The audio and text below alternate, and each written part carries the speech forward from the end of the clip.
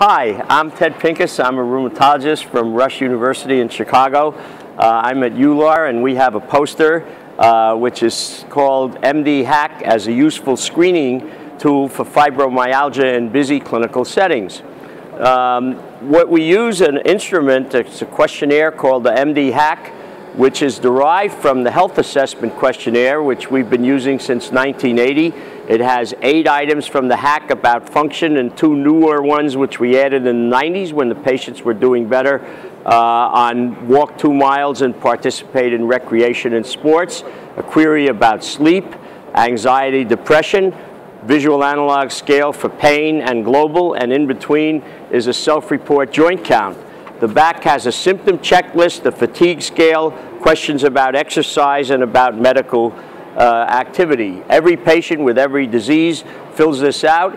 We found it useful in many diseases, including osteoarthritis, rheumatoid arthritis, lupus, and uh, ankylosing spondylitis, uh, polymyalgia rheumatica. And here is its use in identifying people who have tendency to fibromyalgia. We look at here, I think it'd be easier to show here, the pain scale, if the score is greater than six, the self-report joint count, which is scored 0 to 48 if it's more than 16 and more than 16 symptoms.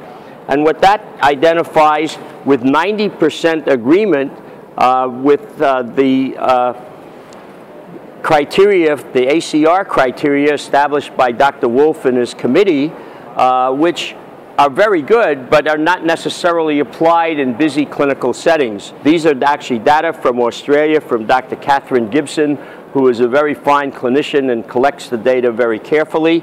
And uh, what it shows, if there's even one of the three criteria, there's 70% agreement, but 90% in clinical medicine is almost as good as it gets.